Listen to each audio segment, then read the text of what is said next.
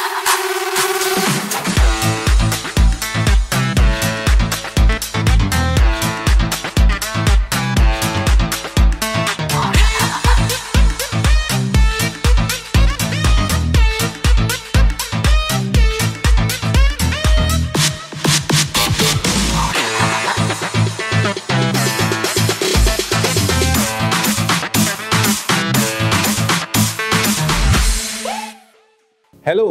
I'm Atubo George, and I'm so glad to be bringing God's truths to you today. Praise God. Now, are you ready for us to call for that daily bread? Hey, it is called daily bread. Jesus said we should make that request. Give us today our daily bread. Praise God. So, are you ready to call it for an expected miracle? Say this with me. Say, Father, I demand and I receive my daily bread today.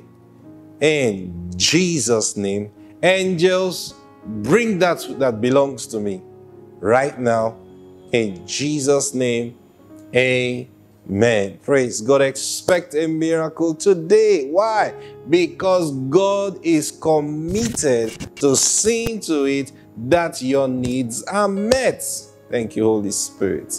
Let's go into today's broadcast. Father, we bless you this day, Lord. Thank you for your spirit that is our teacher. And Jesus, you said the Holy Spirit will teach us all things and he will guide us into all truth. So today we expect nothing less from that which we believe you said concerning the Holy Spirit. And right now I declare every burden is lifted Yokes are destroyed in the name of the Lord Jesus Christ. Thank you, precious Lord. In Jesus' mighty name, amen. Praise God. Now, yesterday I was sharing with you. Now, we've been talking about contending for the faith that was once delivered to the saints. There is a faith that was delivered to the saints. And we got looking at how, because because if you're walking with the Lord, one of the things that must take place in your life is your growth. And we're looking at something in Ephesians chapter 4. Yesterday, I was showing you, you know, he, he gave all the ministry gifts. And this is the reason for the perfecting of the saints, Ephesians 4 from verse 12 now, for the perfecting of the saints, for the work of the ministry, for the edifying of the body of Christ. And I explained that to you yesterday and day before yesterday. Then he says, till we all, other words, every one of us that believe in Jesus Christ. Now, don't take this for granted and just think, oh, ha, imagine everybody in the world that believe in Jesus Christ. Hey, listen, listen. When it comes to certain things of faith, you can only speak for yourself. And this is the truth. Don't look at the other person and wonder, is this person growing? Or, or no, think about you. Are you growing? Now he says, till we all come to the unity of the faith. So the question is, are you as an individual growing? Coming to the unity of the faith. How, how do I know I'm coming to the unity of the faith? I'll tell you. Now, when you know, you know, at that young stage, see, you you uh you you feel what you know, you know, sometimes say, oh, my, my, my pastor teaches very well, you know, you know, ah, you know, we've been, we've gone through all those stages. You, you just feel what I know, other people don't know. So, so you feel special, you see, you, you just feel, wow. And then, uh, and then you get to a point where you realize that, come on, this, these other people I think know nothing, they know some stuff that I'm not aware of. Praise God. Yeah.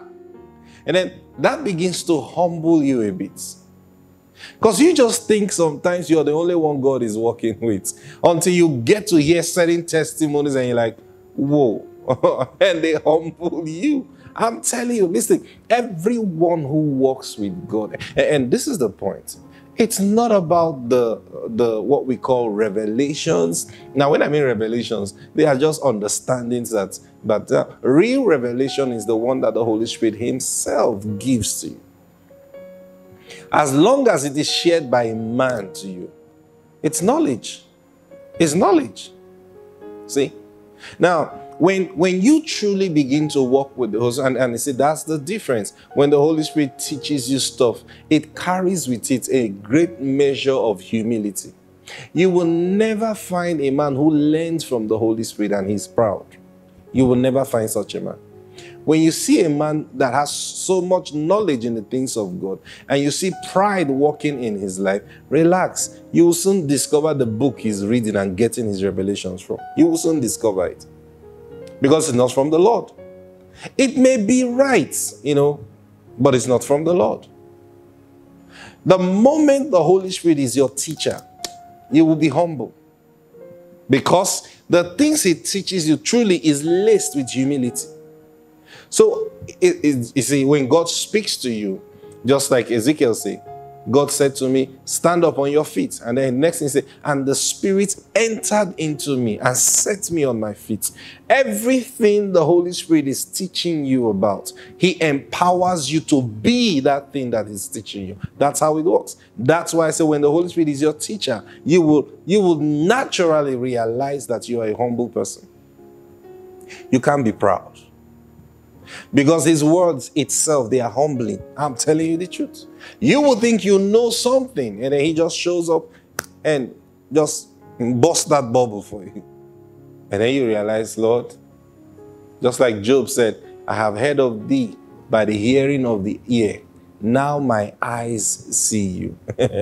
I humble myself. That's what Job said. Praise God. So, so now he says, till we all. So when you realize as an individual, you are growing into the unity of the faith, then you suddenly begin to realize that, hey, these guys are not altogether ignorant like I used to think. They know something. Oh, it's just that they are coming from a different angle from where I'm coming from. But hey, we are saying the same thing. Praise God. Now, we then begin to look out for real believers amongst us. Now, how do you know real believers? Those who bear the testimony of Christ. Now, what do I mean the testimony of Christ? I'm not talking about those who read Bible, praise God. No, I'm talking about those who have real testimony of Christ. Those who actually hear the Holy Spirit teach them. Now, that's the testimony of Christ. See?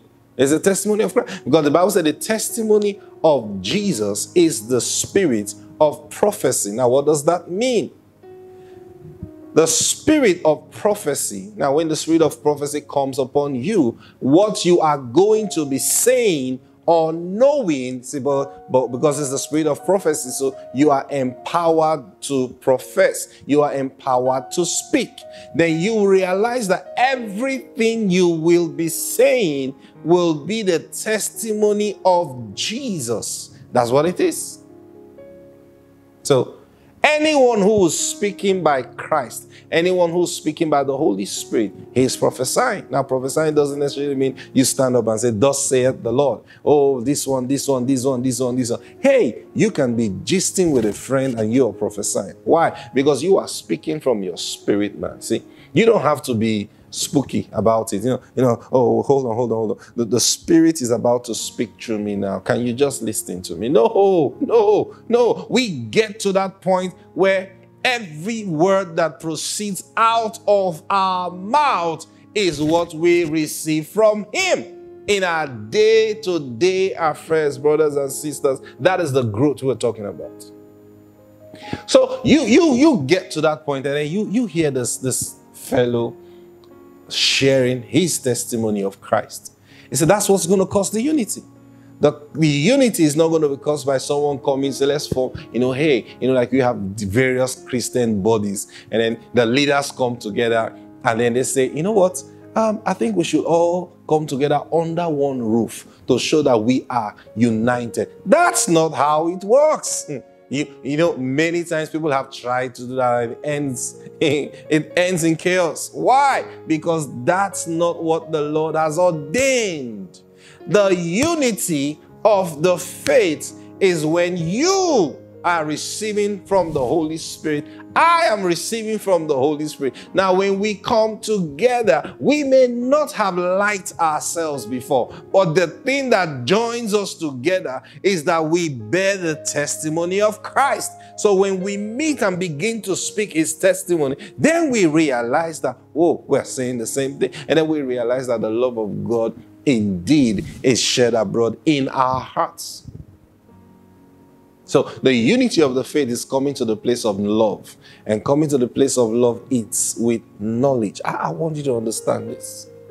Thank you, Holy Spirit. So it says, till we all come to the unity of the faith and of the knowledge of the Son of God. Hey, do you know what that is? He says, till we come to the knowledge of the Son of God. The knowledge of the Son of God is eternal life. Do you know that? Jesus speaking to the Father in John chapter 17, he said, This is eternal life, that they might know you, the only true God, and Jesus Christ, whom you have sent. Now, this is Jesus talking to the Father. And he says, This is life eternal. The knowledge of you, the Father, and then the knowledge of your Son, Jesus Christ. So when he says here that till we come to the unity of the faith and of the knowledge of the Son of God. He said, he said, now we we come into that place where we walk in eternal life. See? Eternal life walks with knowledge. Thank you, Holy Spirit. Unto a perfect man. You see that now?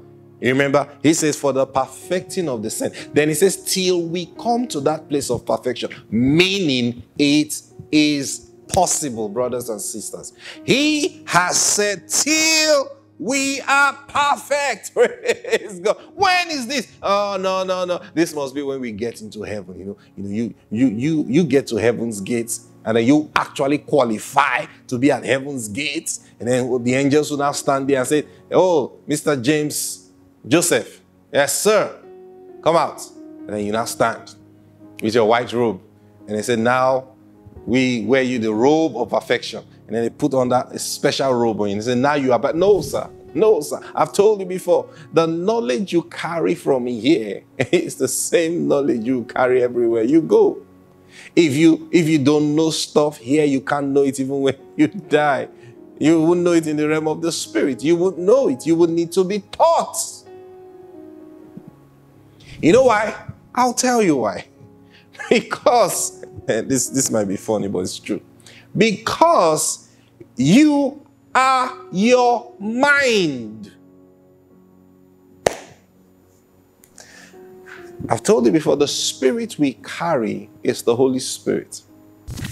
Now, this is what happens when a man gets born again. The Bible says you renew your mind. You know what you're doing? You're renewing your mind. You are you are turning your being into oneness with the Holy Spirit. So you renew your mind by the things the Holy Spirit is sharing with you. Mm, mm. Praise God. So that's what happens.